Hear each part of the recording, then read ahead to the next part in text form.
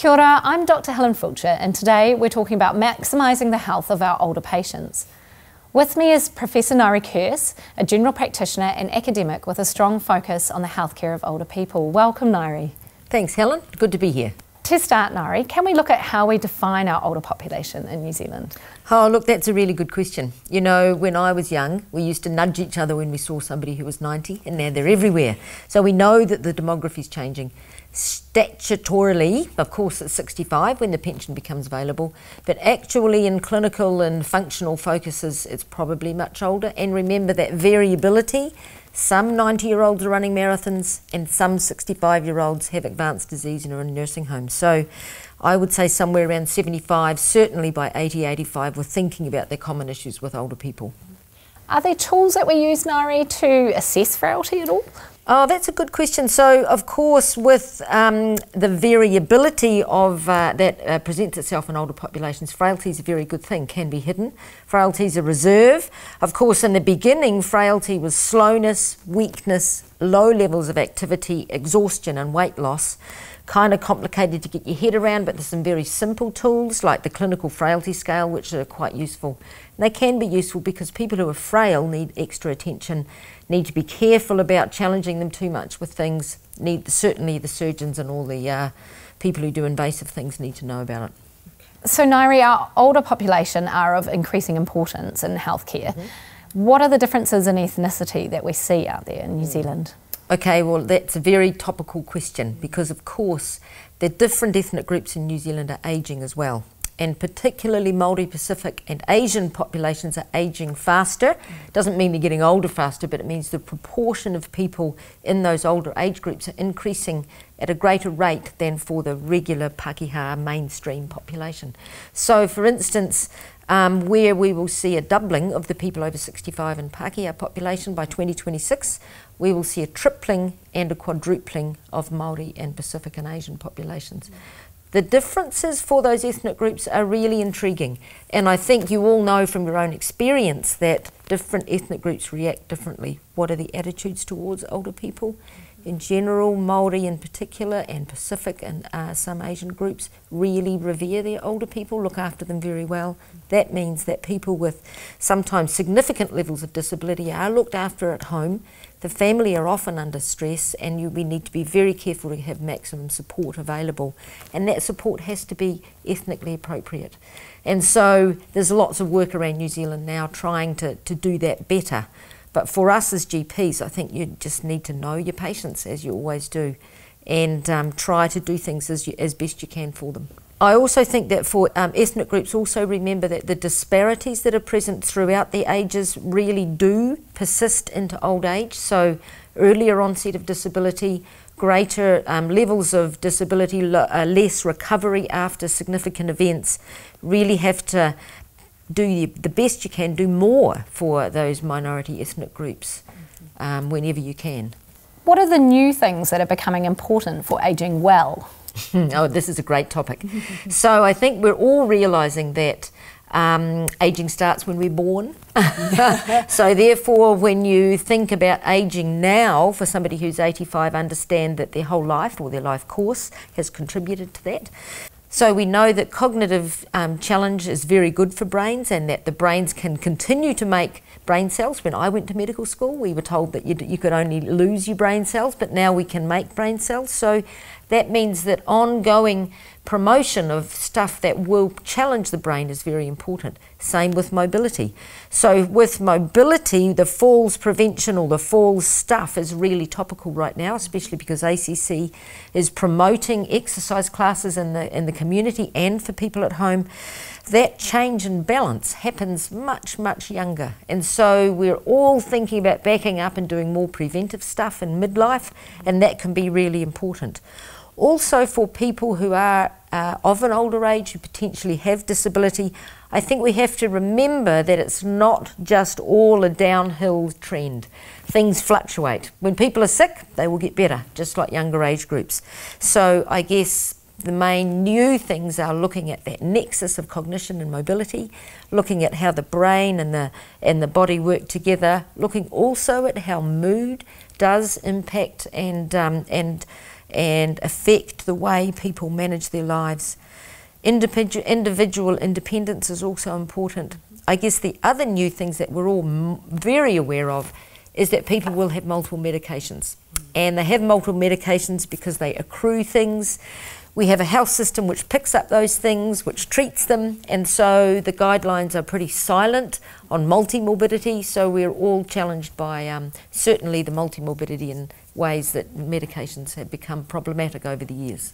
Okay, Ngaire, what are your tips for getting the conversations about ageing well into our consultations? Okay, look, this is very topical as well because, of course, with this idea that there's a life course behind ageing, getting conversations about cognition, getting conversations about getting older in a healthy way into the family, into the whānau is important. So, did you know that leg length is strongly predictive of who gets um, who gets dementia? This has been shown from low and middle income countries, and of course, remember low and middle income countries Nutrition in, at the time of birth is very important. So, short stature means poor nutrition, probably less brain development, probably goes with all those other things that are also happening to people. So, getting that conversation, good stimulation for children, lots of exercise and activity before, particularly around the teenage years.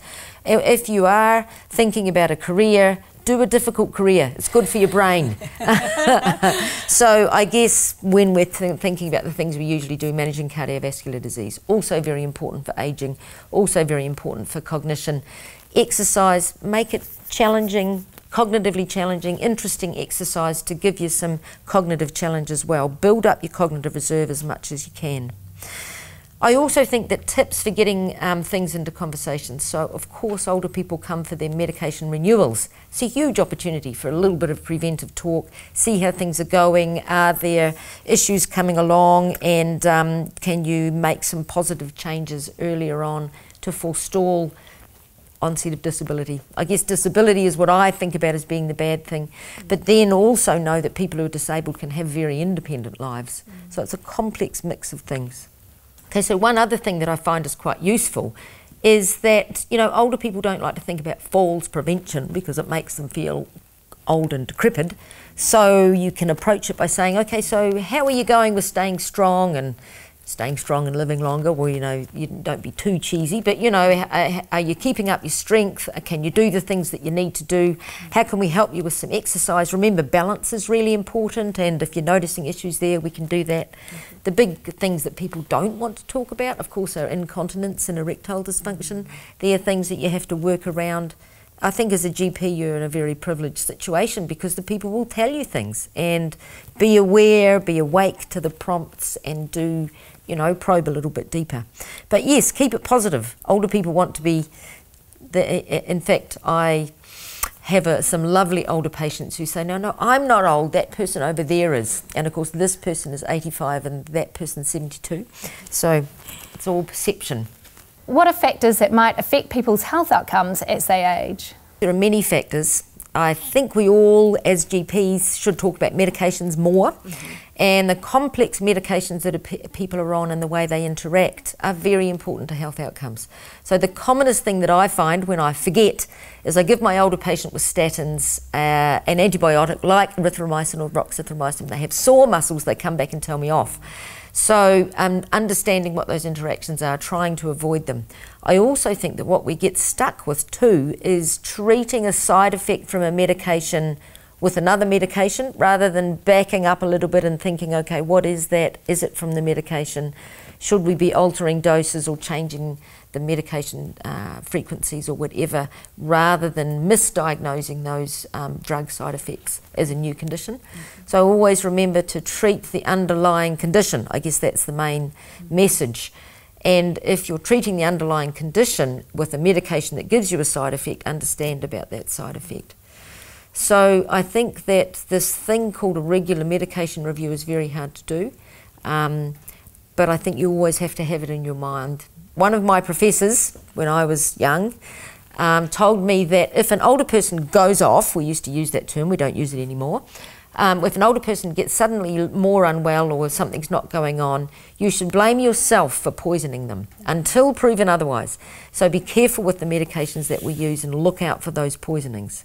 As you know, Helen, we've talked about how chronological age is not a very good indicator of uh, whether you get poor, good or poor outcomes. So understanding the underlying function of the person is important. That frailty can be measured and can be put into the equation. Remember those physiological things that change with age. So kidney function always goes down. I think I'm pretty sure about I can say that. Um, and so the drugs that you get will change over time. So will have a different impact over time as that kidney function reduces.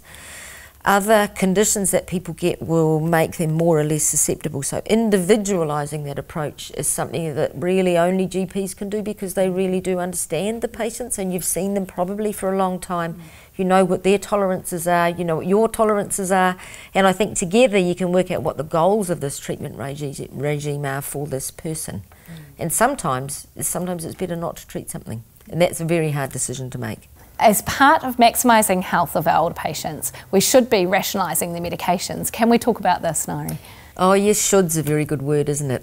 Okay, so rationalising, yes, I totally agree with. I have to put my hand up and say I'm not really a de-prescribing person because that implies just stopping everything. But what we've got to do is optimise and rationalise, which means um, making the medication more appropriate. And so appropriate can mean you've got too much of this, stop it, but it also mean you're missing out on this and you need more of it. So thinking about that is really important. So in older people, yes, we do really have to be careful about certain areas. So pain management is really important. So pain is underdiagnosed and undermanaged. So that's a hard one.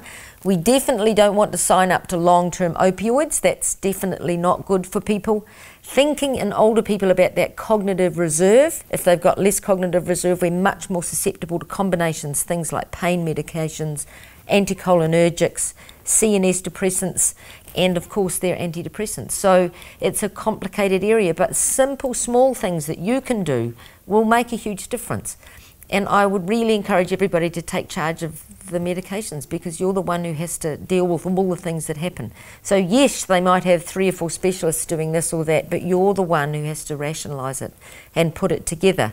And I've been known to ring up people and say, well, you know, about this and this and this, how about this and that and that, and you should be doing that regularly. I'm always looking things up. Do they need the lower dose because the kidney functions X, Y, or Z? Yes, we need to treat their gout. I know there's something about allopurinol in lower dose, but you can titrate quite highly, that quite high in older people as well. So also remember when you're managing pain that the interaction or the or the or the contribution of mood to pain is quite significant. And so, is it actually thinking about the positivity or their life circumstances that need some treatment, or is it actually the pain? So, can you change things and use a non pharmacological way of managing pain? For instance, arthritis of the knee.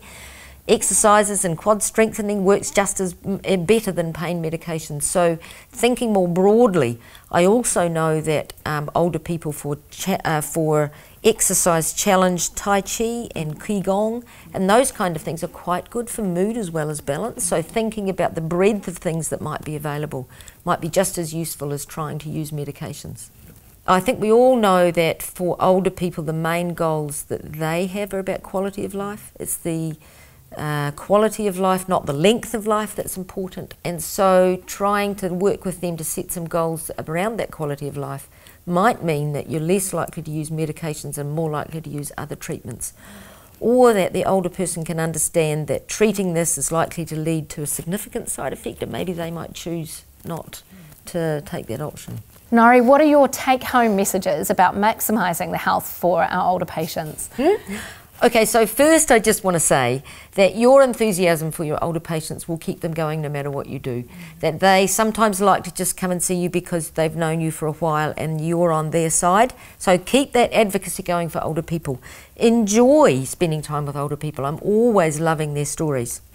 Medically, health related, I think it's important to think about frailty and to think about individualising what you do with them related to their underlying function always, I think, prevention, prevention, prevention. That's because I've got a bit of a public health bent too, but that happens across the whole life course. And so, if you can get some messages in early, that might well help your older persons when they when they get there. Um, physiological decline, thinking about poor health and poor health outcomes might mean that your medicines need to be rationalised more often. I like, you've already got a podcast, you know, about rationalising, optimising and individualising things, and I think that's a, that's a really good way to think about medication use in older people. So I'd just like to encourage you to keep taking care of those older people. I think it's a lot of fun and we should all celebrate it more. Thank you, Ngaire. That was fantastic. I'm glad I could be here and thanks for having me.